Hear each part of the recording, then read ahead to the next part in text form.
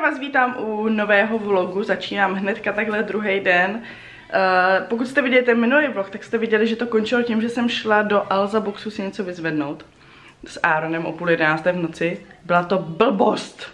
Jak mi to jenom mohlo napadnout. Byla to, nebyla to naštěstí ta největší krabice tady, ale byla to tahle krabice. A hlavně mě vůbec nedošlo, že to bude třeba jako těžký jako kráva, protože to je kávovar. No, takže nakonec jsem to donesla. On totiž, uh, ještě bych vám to teda řekla, ten Alsa Box není úplně nejblíž, jo. On je asi 7 minut pěšky, takže já jsem to pak prostě táhla, že jsem si musela dát pauzy, jo. Ještě dneska mě bolí uh, moje bicáčky. Rozuměj, nemám žádný bicáčky, ale prostě mě bolí ruce. No, ale už jsem ho zprovoznila. Uh, respektive dala jsem tam ten filtr, udělala jsem všechny ty úkony před tím prvním použitím co se udělat mají. Já jsem totiž chtěla uh, kávovar, protože nemáme žádný kávovar a přemýšlela jsem, mám jít do kapsláče, který je samozřejmě mnohem levnější, ale za mě to není úplně jako chuťově pro mě dobrý. Ne, že by, by úplně kapslový kafe vadilo, to ne, ale přece jenom prostě takový to čerství namletý, jo, když si ho takhle uděláte sami nebo si ho koupíte v kavárně, je to prostě jiný. Takže jsem se rozhodla, že opráším svoje znalosti z kavárny, kde jsem pracovala. Já jsem tam pracovala ve víc kavárnách a to je jedno. A koupila jsem si normálně pákovej kávovar se vším všudy, jo. Takže ho jdu vyzkoušet. Bylo to teda drahý jako blázen, takže doufám, že jsem to nezapomněla. Uh, ale myslím si, že to zvládnu. Byla jsem teďka tady za rohem, máme uh, káva fakturu, kde vlastně oni si sami praží kávu, je to pražírna kávy a zároveň tam vlastně dělají kafe, mají tam zákusky a tak. Filipek si vybral borůvkový muffin, mimochodem výborný zákusky. I super kafe. Takže jsem si tam koupila kafe, byla mi doporučena tady tak Guatemala Santa Rosa. A jdu to zkusit, no. Dneska je tak nádherný den, já si tady úplně užívám sluníčko. Tak si užívám, jak to tady máme prosvětlený, otevřela jsem oboje dveře na eh, terasu nebo na balkon. Takže to tady máme takový zase trošku víc otevřený a, a vzdušný a tak. Úplně super, na to vlastně se přesně těšila. Až to tady otevřem, trošku stlumím televizi, uh, Filipek si poručil, prosím vás, máme takovou změnu, jo. Takže už úplně nefrčí Bing, jako ten jenom tak jako trochu. Teďka začali frčet YouTubeový videa psy v bazénech a psy v, s balónama a psy prostě v bazénech s balónama. Jo, takže to je to, co teďka Filipek potřebuje nutně sledovat. Jinak on se na to stejně nekouká, hraje si s automa. Ježíš, to je tak super. Jinak, uh, až tady bude hodně vedro, což asi bude, tak my máme markízu která uh, se dá stáhnout až úplně za ten okraj toho balkónu, takže sem nejde, uh, nesvítí sluníčko potom vůbec, když chceme. Ale já ho tady chci. Já ho tady chci, ale je fajn mít tu možnost se ho na chvilku třeba zbavit. Ukážu vám pokrok na zahrádce. Prvně vám ukážu nepokrok. Nepokrok je, že jak byly ty mrazy a já jsem si teda jako říkala, že to ty jahody zvládnou, tak si myslím, že hm, tahle bude mít co dělat Jinak tyhle jo, ty to zvládly, tady ty na kraji, tady tyhle to zvládly úplně krásně. No a tyhle asi umrzly. Byly prostě slaboučký, no. Takže ty už to asi nezvládnou. Každopádně potřebuji zavítnout. Ale chtěla jsem vám ukázat, že tady a tady už rostou květy, podle mě. Ty jsi tady taky? Já. Já. A kdo za chvilku přijde? Babina. Ano. Babička Marcelka? Ne? Ano, se strýdou Tomášem. Já. Jo. Uh, takže tady to kvete a tady to pokvete, což jsem jako úplně fascinovaná, tady teda taky, ale že takhle rychle, já myslela, že prvně to bude jako chtít pár listů, ale vypadá to, že teda už je to ready na, kvety, na květení, což znamená květy znamenají plody, že jo. Uh, jinak tady už mě začala růst pažitka, Tady ty řetkvičky jedou jako blázen. Už leze, au, už leze i mrkev, kterou jsem teda nikdy nepěstovala, takže vlastně nevím, jestli ji nemám moc na sobě. To jsem tam jakoby spíš jen tak nasypala, což bude asi problém, ale uvidíme. Uh, maliny, no, maliny jsou takový teďka taky, jako, já je vždycky zalívám, až zaleze to slunko, takže jsou teďka takový povadlí uh, a trošku jakoby se schlí, přemýšlím, jestli je nemám dát někam víc do stínu. No, jestli to tady na ně není oh. moc. Oh. To jsou řetkvičky, nech je tam, netrhej to. Chtěla jsem vám ukázat, jestli to uvidíte, že tady už jako rostou uh, nebo pokvetou ty borůvky obě dvě, obě dvě už mají prostě takovýhle náznaky, že pokvetou. Což mě třeba přijde hrozně brzo. Já loni jsem ji kupovala, že jo, až pozdě, takže to nevím, jak bylo, ale prostě mně to přijde dost brzo. Možná by byly ještě dřív, samozřejmě, kdyby nebyly ty mrazy v dubnu, že jsem myslela, že spadneš. Ale no jsem ráda, protože si pokvetou, tak už budeme mít Filipku třeba za měsíc borůvky. Možná dřív je 1. máje a my jsme se vydali políbit pod rozkvetlou třešeň kam jinam než do Třešňovky. To vybral Tomáš. Já jsem tady ještě nebyla, kluci už tady byli, už to tady znají na spaměť. Já táhnu teďka kočár, Aaronův bobek, motorku a kluci si tam hrajou vepředu. My jsme tady byli na poprvé s Filipkem v březnu a já jsem si říkal, jak to bude vypadat, až to bude všechno rozkvetlý. Myslím si, že je to ideální na prvomájový polibek. Je to sad Třešňovka v Jarově. Ví? Tak pro toho, kdo hledal nějaký takový místo, tak příští rok si myslím, že má jasnou volbu. Maminka šla nakupovat, no. A my ještě jdeme na procházku. Jo? Tak jo. Najdeme ještě nějakou kaluš? Jo. To se ti moc líbilo, že? Kumáka. Mimi. Jo, jdeme tam? Tak jdem. Tak, vášeň pro retardéry stále pokračuje. No, můžeš jet, bum bum. Bum bum. Tady to má dokonce double.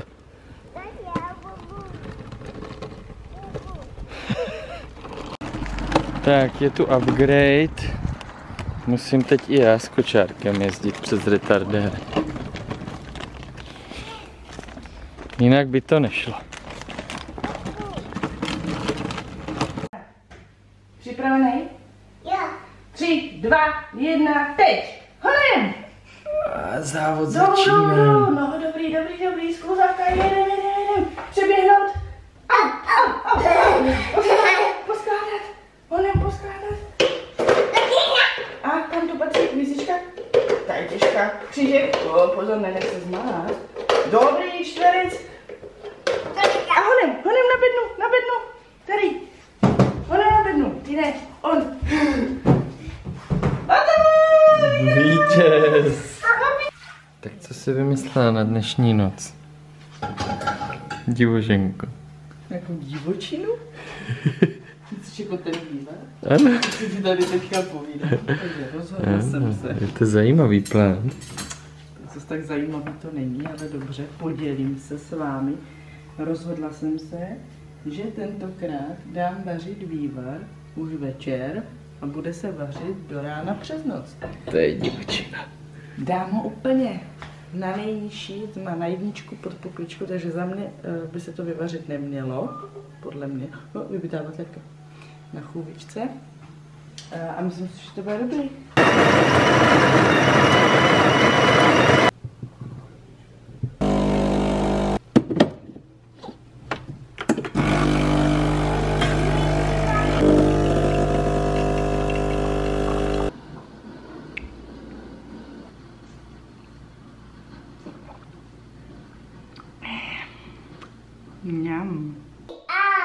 Ano, tam je labuť. Filipek mi tady povídá příhodu, když potkali labuť.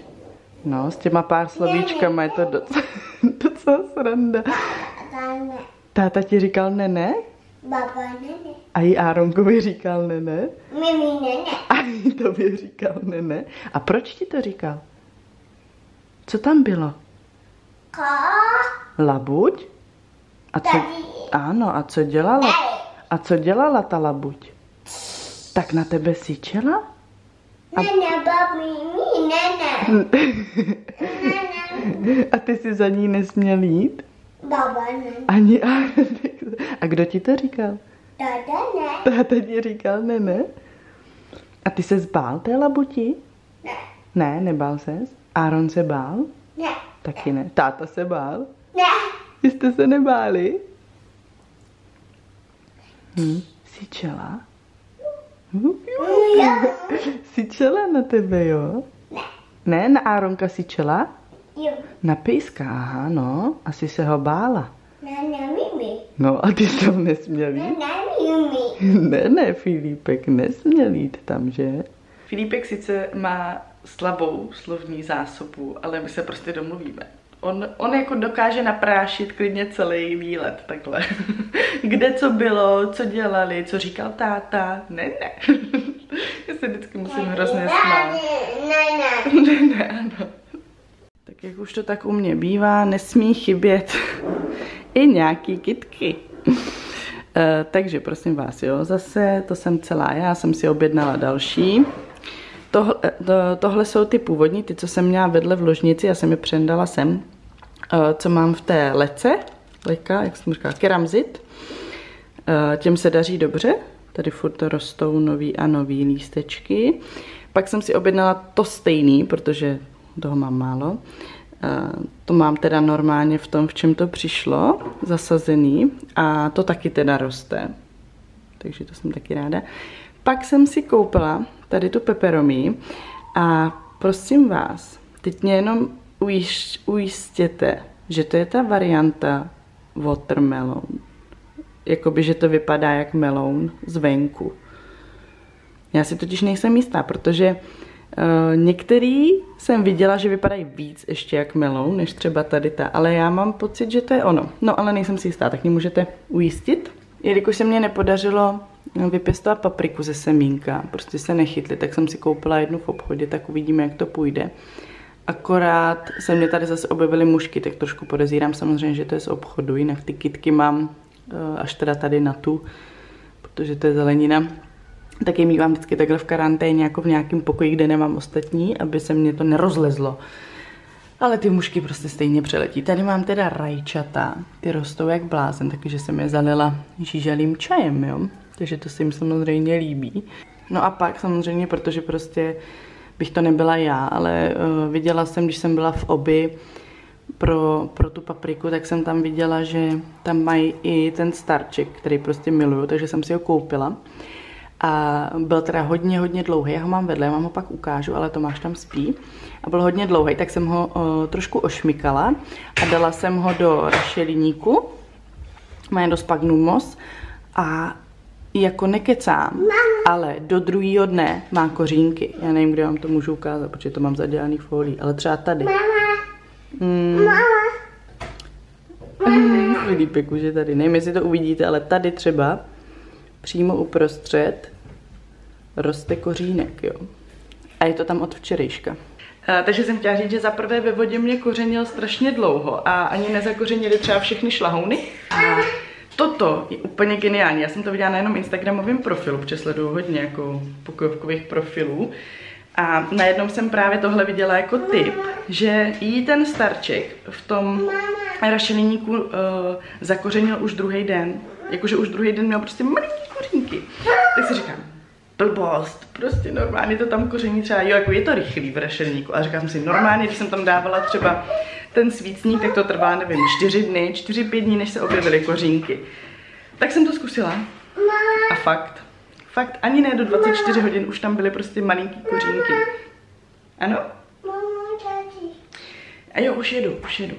Je prosím pěkně. Co, líbí se ti moje vlasy? Jako, abyste to pochopili, proč to ukazuje Tomáš, tak protože já jsem si uh, večer dělala takovou tu kněžnu, jak tomu říká Šopina. Viděla jsem to u Jitky Nováčkové a u právě Šopiny a u Lucky Zelinkové. Je to takový to, že když máte prostě umytou hlavu, možná ani nemusíte mít, jo, ale trošku jako vlhkou, buď si ji navlhčíte, nebo ještě není úplně suchá pomytí, dáte si takhle tu punčochu přes hlavu nebo něco a teď si do toho zamotáte vlasy a pak v tom spíte. Mně se v tom teda spí hrozně blbě, ani mě to nedrží. Takže ani ten výsledek není takovej. No, ale to.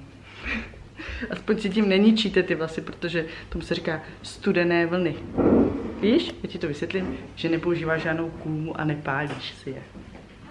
Nemáš zač. To spotřeboval tady tu informaci do života. Každopádně dneska je velký den.